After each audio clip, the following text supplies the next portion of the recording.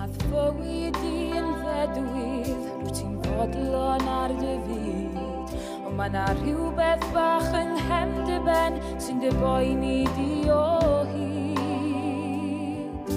Ti'n syrthio mewn i'r fagol, gan wybod byd i be. A does dim ar ôl ond rhyw syniad ffôl, yr eith popeth yn ôl i'w le, ac mae chwod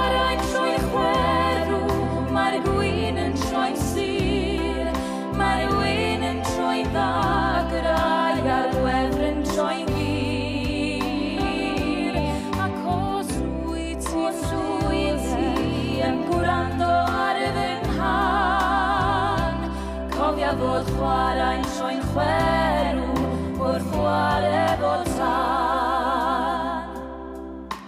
Ac yna bwy'n dipyn a'r darnau'n dod yn hyd. Ti'n dod i ddeall sut mae cael y gorau o ddau fi. Mae'n dod yn